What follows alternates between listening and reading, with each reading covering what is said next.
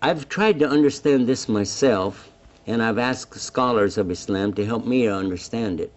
It appears to me that it's not so much about what you know, but it's about what you feel. What is in your heart? Because anybody can have a lot of knowledge or a lot of money, a lot of power, a lot of influence on other people. But what is in your heart? Because if the heart is really open to Allah, then that's when Allah will have the good relation with you.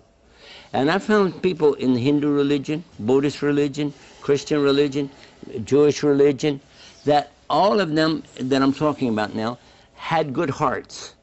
And I didn't try to push them to anything. I would just think about what would get us a little closer today to worshiping God on His terms.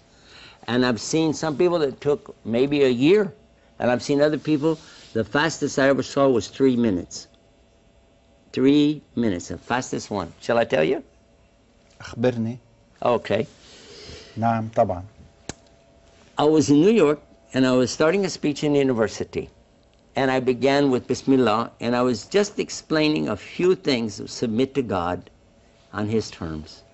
A man stood up and he said, I would like to accept this religion. I went, What? He came up to the stage. He said, What you just said is like you're talking straight to my heart. I said, huh? And I, I have a recording of him doing this on my website called Hear Islam. Yeah? Uh, it, it, shocked me that he came up. I, I, said, okay, I can, I can leave right now. I did three minutes. I'm happy. but many people in that area have opened up their hearts and minds. And mostly I like to see people change their attitude. If Allah guides them, that's good.